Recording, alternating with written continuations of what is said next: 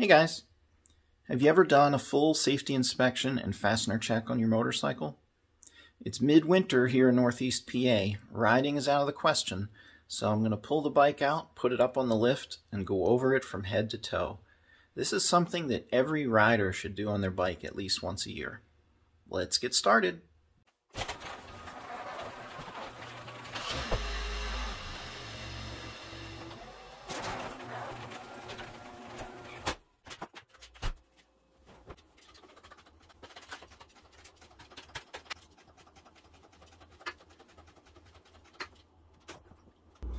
So we all know about bike maintenance. There's a schedule, usually by miles. Every certain number of miles, we check or change fluids, uh, other parts on the bike, and then we ride. But the safety inspection is different. Here in Pennsylvania, there's an annual safety inspection required by the state, but I've seen those inspections. They take about five minutes, they slap a sticker on it. I wouldn't want to put my life in the hands of that alone. So a comprehensive safety inspection of my bike is something that I do once a year. I mean, what part on your bike would you be comfortable having come loose and fly off when you're riding along at highway speed? So what I'm going to do today is just show you how I do it, what things I check. I'm sure there's probably a few things I'll miss. And if you want to add that to the comments, I'll take all those and put them in the description for this video. So I have a checklist that I use, and I seem to add to it every time I do this. I'll post that in the description as well. First thing I'm going to look at is the exhaust. I always seem to start here because exhaust rattle is a pretty common thing. Now this is an aftermarket Vance and Hines Big Shots, but you'll get the idea. Um, this exhaust has the heat shield, which is nice and chrome, and then behind it is the actual pipe. And the heat shield is attached with hose clamps, worm gears. And what I'm going to do is just go along each one and just give it a very small twist with the screwdriver and just make sure it isn't loose basically what we're doing here is anything that can be easily turned is loose and needs attention. So obviously it's got to be tightened. Then I'm also want to keep an eye on it. Maybe check it after a few rides and just make sure it's not working its way loose. I'm just going to move the exhaust around a little bit. I've had this exhaust off before. It is whole one-piece unit. It's very tight. There were problems on my Sportster. By the way, although this video is for Dyna, it's going to be very similar for the other bikes. On the Sportster, there were some spots where there were clamps attached to the side of the engine. One had cracked and was making a chirping noise. The Vance & Hines uses this big black bracket so I'm going to check all these nuts and make sure they're tight. Another thing I want to check is where the exhaust connects to the engine. The studs, when I first got this bike, I noticed the nuts on the studs were loose. So I don't know why those studs were loose, but I tightened them up and they came loose right away again. So it's a little dirty, but what you can see I did is I put an acorn nut on. So I have the regular nut on the stud, and then the acorn nut comes after it. And those two nuts are tightened to each other, and they've never come loose. But I'm just going to check those right now. So there's four of these little bolts that hold this bracket. Just going to check each of those.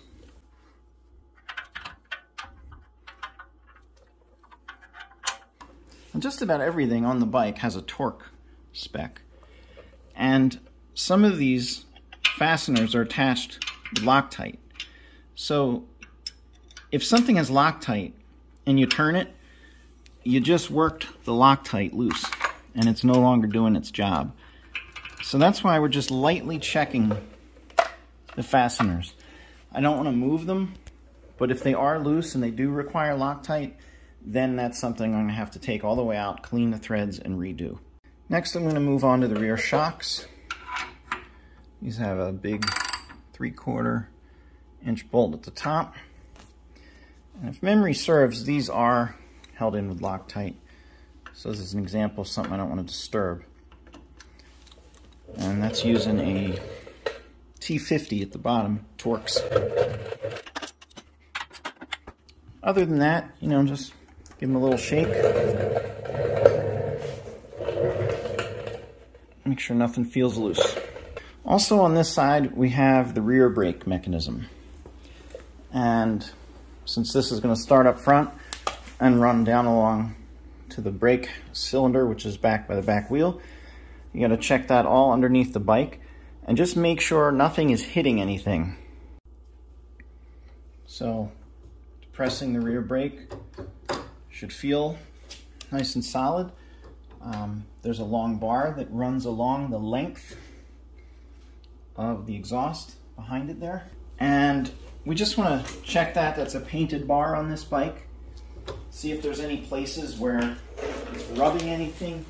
Maybe the paint has gotten chipped or anything like that. Anything indicating a problem. It really does come close to the frame, but don't see any issues there. All right, so now we're gonna take a look at the rear wheel, and there is a lot to check on the wheels. And there's some tools that are helpful to have. One is a tread depth tool, so you can measure your tread depth. Another is a spoke tool. Uh, this one fits a couple different size spokes. As we get around to the belt, there's the belt tension tool. I'll show you that later. Then obviously the tire gauge to check your tire pressure. And then there is for the Dyna an alignment tool, which Harley tells you how to make yourself. so I'll show you how this thing is used as well. To start with, we want to check the tire visually. This tire, believe it or not, only has about four or 5,000 miles on it.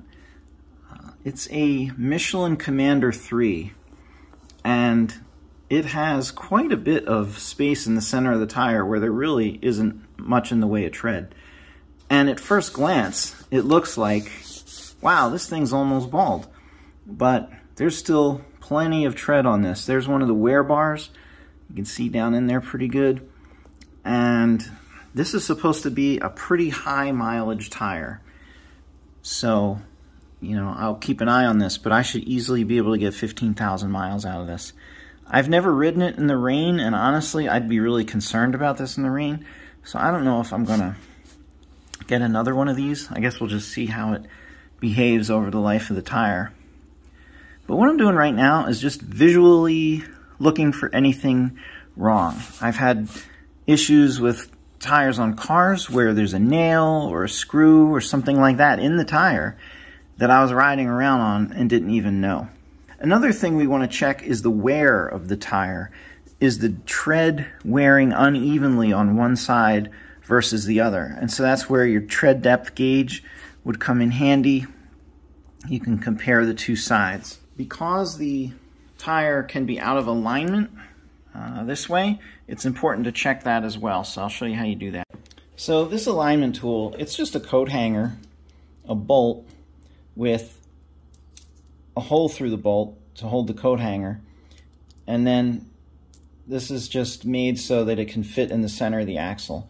Now, unfortunately, I have axle nut covers on, and I'm not going to take them off just to do this. There's a hole here in the swing arm. You insert the hanger, and you line up this so it's right in the center of the axle. And then you just tighten it on the alignment tool, then you go to the other side and you make sure when you put it in the center of the axle, it also goes into the same exact spot in the hole in the swing arm. And that's how you make sure the axle is in alignment. So the tire appears to be wearing nice and evenly. I don't see any signs of damage or abrasion. I'm going to take a flashlight now and take a look at where the wheel bearings are. And what I'm looking for is any grease.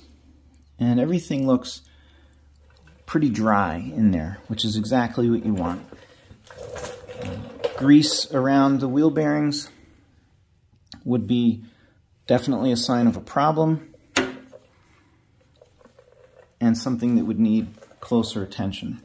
A little hard to see over on this side, but I think if there was any grease leaking out, it would be on the sprocket and probably have a little mess going on there.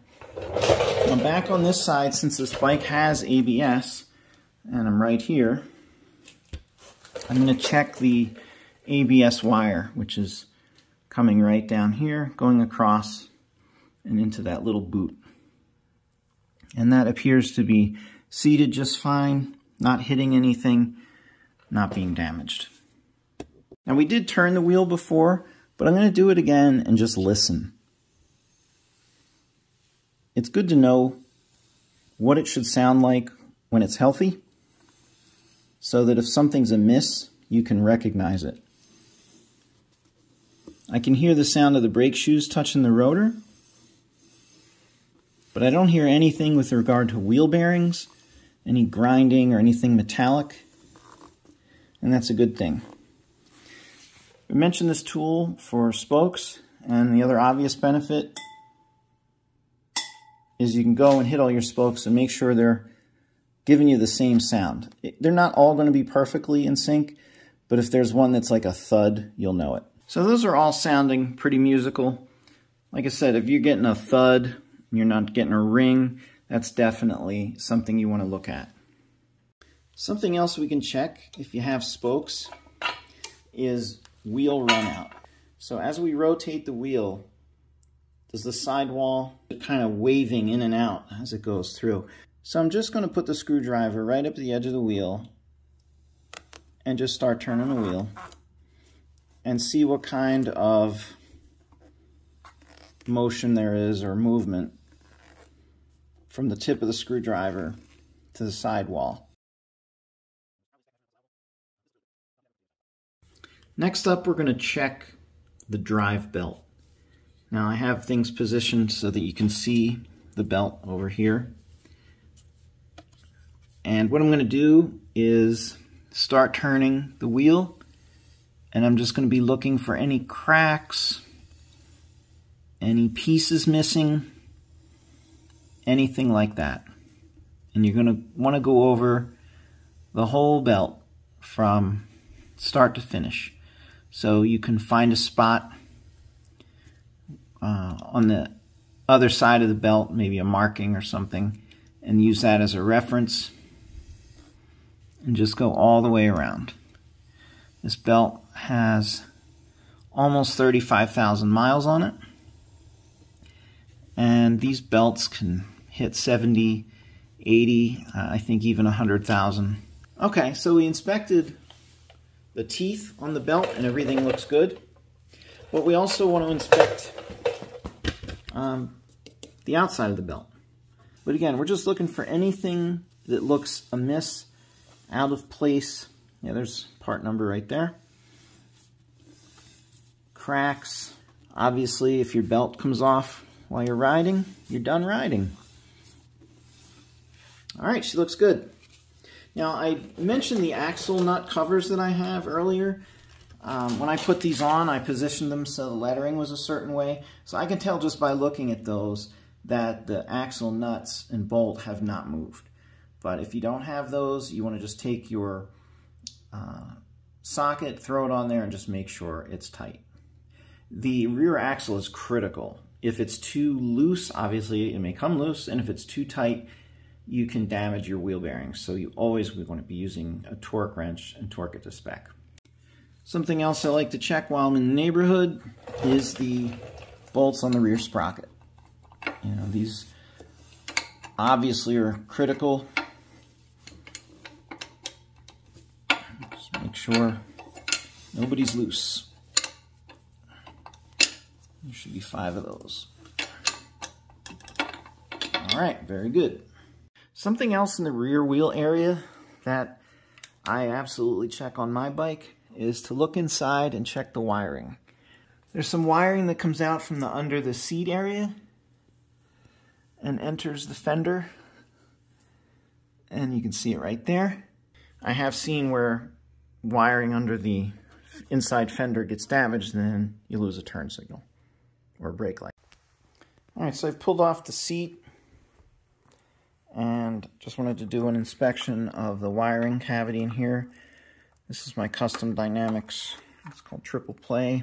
Pretty much nothing else to see here. You know, the seat just covers that up nicely. Now I'm going to pull off the side cover.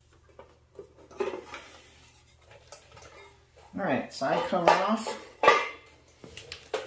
And here there is so that's where the, I think that's where the triple play connects in. Just looking for anything amiss. Um, don't want any critters living in here. I think I see something under there like a little nut or something, like a like an acorn nut. Not an acorn, but oh, it's a kernel of corn. Gee, I wonder if that came that way from the factory. Yeah, we don't want that in here. Everything looks good, clipped together like it should. Let's take a look at the kickstand. I just serviced the kickstand, probably one of the last things I did before the riding season ended. That's going to be your mechanism when you lean it over. And of course, this part. I know the spring is super tight. I'm going to insert a little video of what it looks like when your spring is not tight.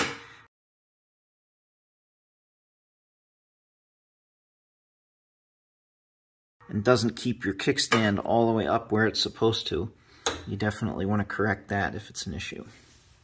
If your kickstand is making any noises, squeaking, squealing, anything like that, it definitely needs to be cleaned and re-lubricated. All right, now we're going to take a look at the bolts on the primary cover. Again, I'm just going to throw my Torx in there. Actually, it's not a Torx, it's a 3 16 hex Allen.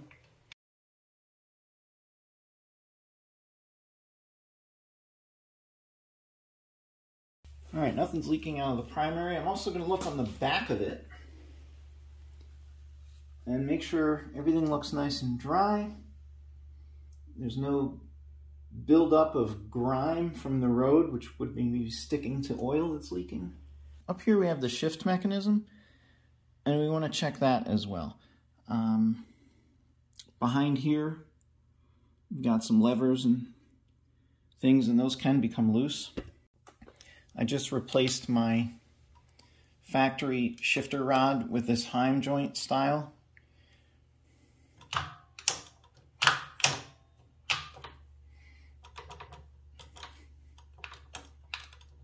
There's a hex down in there as well you can check, but everything looks good here on the shift mechanism.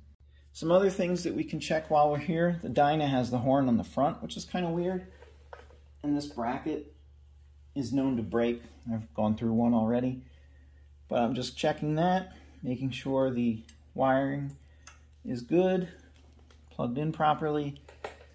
I'm going to look under my oil filter, see if there's any sign of leaking, and there isn't. You also have your spark plug wires. Just press down on those. I have nice short wires. Obviously, if you smell a leak of fuel, that's a problem. This is the fuel line, pushed up in there. No fuel around that.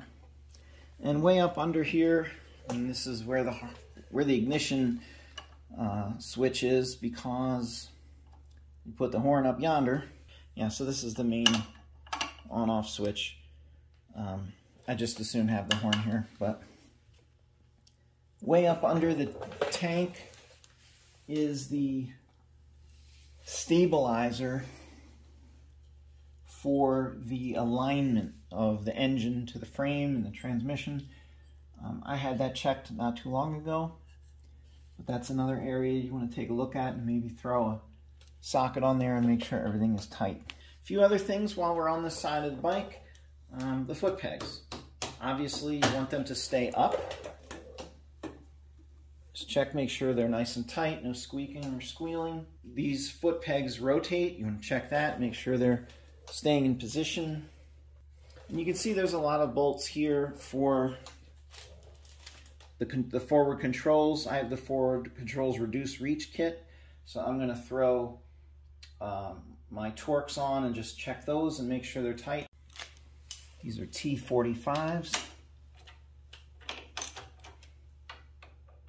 That's the guy on the road who had the OEM style shift rod come loose. This is what that looks like. So these are notorious for breaking. Um, there's nothing you can really tighten here. And his just popped out.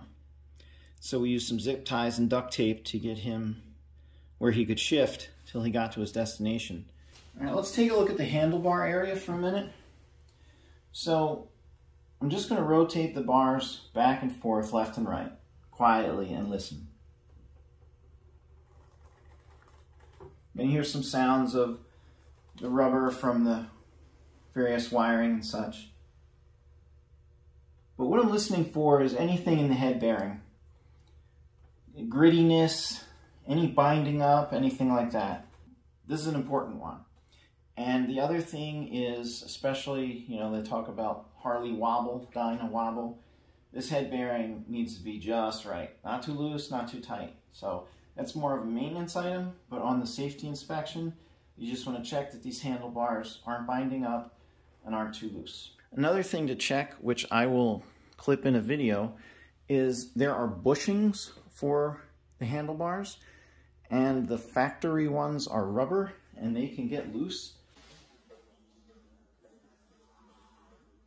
I replaced mine with a set of poly. Didn't really notice an increase in vibration, but they're nice and tight now. We have this part on our front forks called the triple tree. It's going to secure the down tube on the frame to each of the forks. So you got three connections. And we're just going to check that those are snug. The fork tubes stick up just a bit at the top. And you want to make sure this distance is the same on both sides. Otherwise your forks aren't going to be aligned or even. So just as we went over the rear tire, we're going to do the same on the front. Find my valve stem. There it is. All right, so I'm just checking for,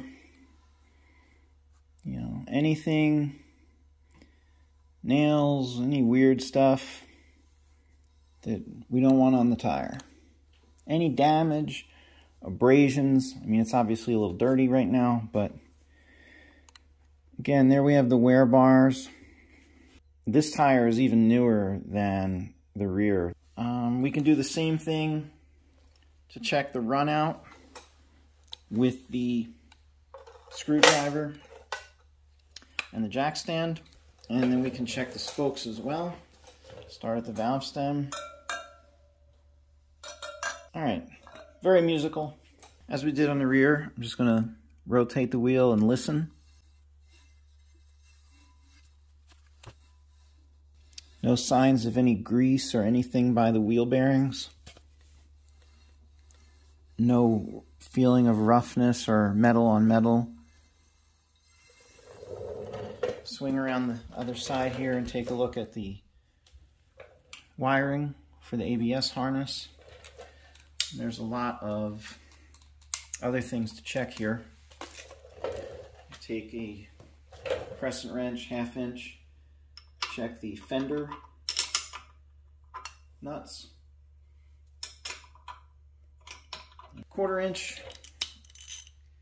uh, hex We've got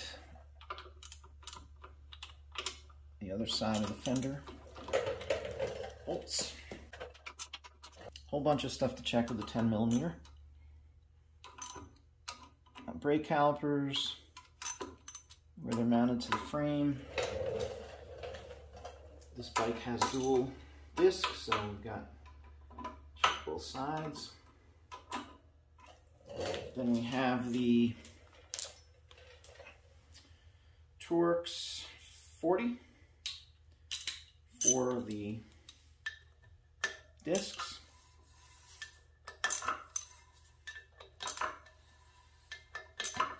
I had a noise on my front end when I first got this bike, it took me a little while to figure it out. Some people thought it might have been brake rotors. Some people thought a loose bolt on the fuel tank. Um, it turned out to be the forks themselves were low on fluid. I'm going to insert a video showing that uh, issue I had with the forks and what the front fork should sound like and shouldn't sound like.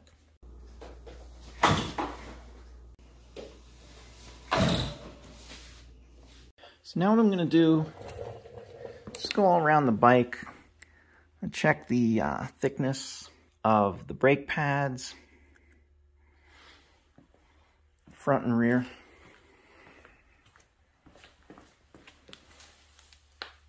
Also want to check the brake lines. Here we have the front brake caliper, and that does not look good. I can see there is some uh, moisture, brake fluid, and the paint is peeled away here. So that has leaked out and caused some damage, which is not nice. So we'll have to see why that is. Check the brake line coming down. This bike has ABS plus the dual, so it's going to go to both sides. We'll look for any evidence of leaking. And you want to do this on the front and rear. So that issue with my front brake fluid, um, you know, if that just went unchecked and uncared for, I'm not sure how long that would be an issue. Um, other than making it look kind of ugly. There's a little cover here that pops off and exposes the ABS valve. Everything looks nice and dry in there. Something that I really dislike is the handlebar controls. I had to replace both the upper and lower brackets this year. Um, these housings are made of aluminum. They feel like they're made of cheese both this bike and the Sportster that I had had uh, the threads pretty much stripped out on a couple of the holes on each of the brackets. I had to replace them. I think Harley sells a lot of these. It's just, um, when you put them back together, there's a specific order that you tighten the top versus the bottom. A specific sequence, that is. And then, of course, you have to torque them just right or they'll strip. These use a T27, which is not apparently a common size in a lot of kits. And so sometimes people use a T25 and then they damage the head on the screws. A lot of the things we're checking are things that just might not be commonly noticed just in day-to-day -day or week-to-week -week riding. You know? Make sure your mirrors are tight. Then there's all the uh, operational controls themselves. Turn signals. Um, I have the custom dynamics module, so that has some uh, nifty things we'll get to in a second. Make sure the hazard lights work. Um, brake. You know, you can have a problem where the brake will light from maybe the front grip, but not the back, which would be a problem with the switch. On one of those, I had the rear switch go bad this year. Um, high beams. Where are you? They're on the other side.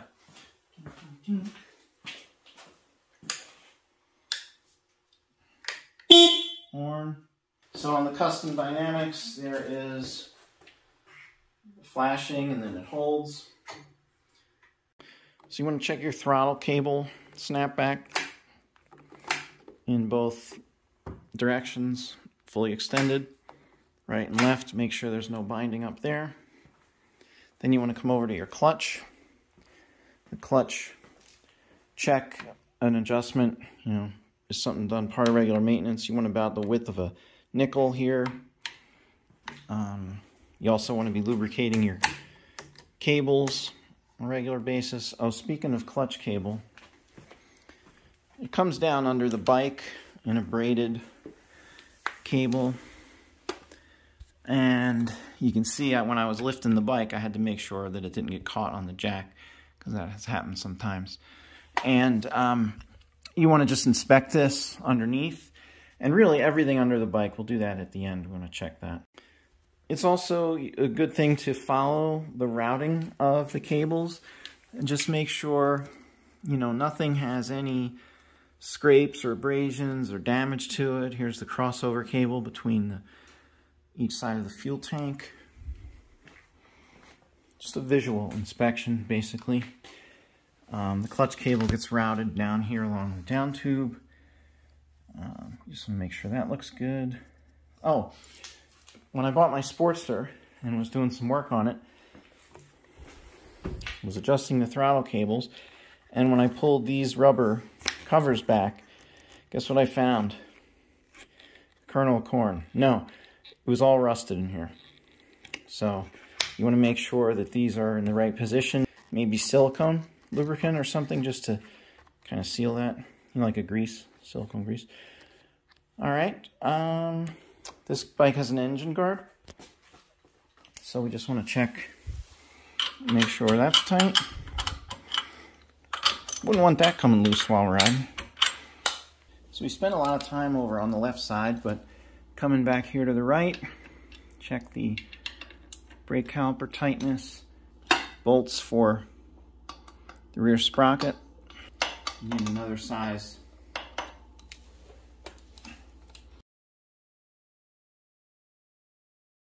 So we also want to check the foot pegs on this side. Make sure they're nice and tight. They stay where they're supposed to. We had checked the brake uh, previously. How that works. Now let's take off the battery cover. See what's going on in there. Regular screwdriver if a bunch of corn comes flying out of this, we're going to have a problem.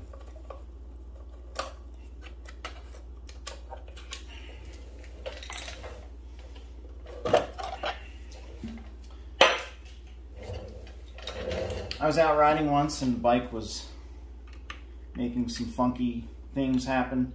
It would cut off and then cut on and then it started getting worse and worse. It was a loose battery cable. Those are nice and tight everything looks like it should. So just as we did a nice visual inspection over on the left side of the bike, um, we want to do the same here. You can certainly check all these bolts in the transmission for tightness, cam cover. Um, we're looking for oil leaks, just anything that looks out of the ordinary. The rocker box cover was a notorious leak problem on the 1200 on my Sportster, but I've never had a problem with it on the twin cam. I mean, visually, you should be checking the bike pretty regularly. Whenever I have a ride to work day, I usually come out in the morning on break or at lunchtime. The bike's usually out in the sunshine. And I just take two or three minutes and walk all around and give everything a good visual and um, it's obviously not as detailed as checking fastener tightness, but the point of that is you want to get familiar with what normal looks like so that when you see abnormal, it jumps right out at you. Having a real hard time uh, getting focused on that battery cable stud, but the other end of the negative battery cable is way down there. It's under the battery behind the ABS sensor if you have that the ABS module. Um, but that's also a problem area where if that comes loose, uh, you're not going to have a good connection. We're almost done, guys. I am on the ground. Uh, this is the back tire. So I'm at the back of the bike on the left side, and I'm honing in on where the rear motor mount is. There you can see two hex bolts I'll show you what it looks like on the front and that will help you appreciate it. So the two hex bolts you saw, this is the corresponding ones on the front.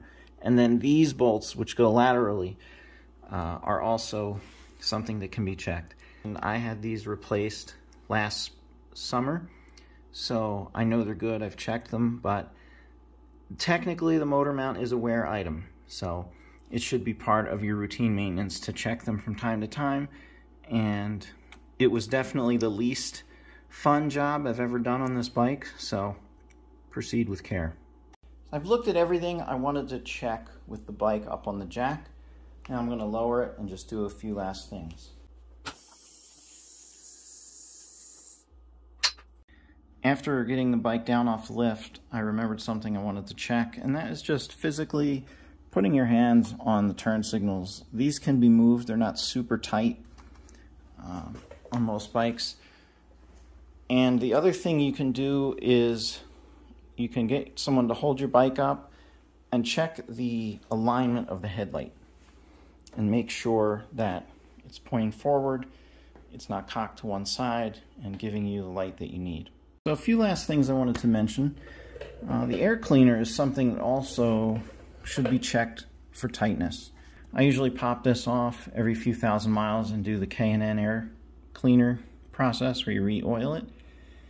And while in there, I check the other fasteners inside, but you just to give that a tug and make sure that it's tight. One of the last things I want to show you is how to check the belt deflection. So this is the tool, where are you? You're going to put the O-ring here all the way down to bottom, which is zero. When I turn this, uh, this is not focusing, there is a number 10. We're going to apply pressure. This goes on the belt. We're going to push up until that O-ring goes all the way up to the number 10.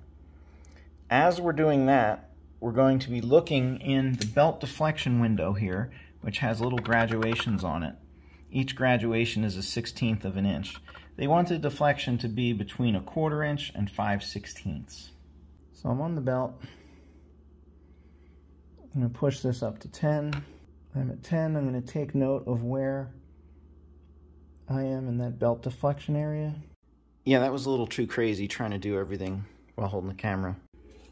So now that the bike is off the list, the last thing I want to do is just take a good look under here for any leaks, anything like that. I mean, I've done this recently, so not expecting anything. All right, guys, we went over a whole bunch of stuff on this bike. And there's probably some nuts and bolts here and there that I glossed over or can go back and check, but you get the idea. You're basically going over, you know, kind of a circle around your bike, checking everything up, down, top, bottom, making sure that everything is tight, you're checking for leaks, abrasions, scrapes, anything rubbing where it shouldn't be. Uh, my bike did pretty well. I have an issue with the leak at the front master cylinder, which I'll admit I'm annoyed about because it peeled that paint off. So I'll see what that's all about. Um, you could finish this up by checking your tire pressure. On my bike I have windshield, so I'll just make sure uh, those fasteners are tight. Uh, touring bike's going to have the fairings, so there's going to be a lot more going on there. Saddlebags, same thing, but you should get the idea. I do over 100 rides a year on my motorcycle. I'm on it a lot.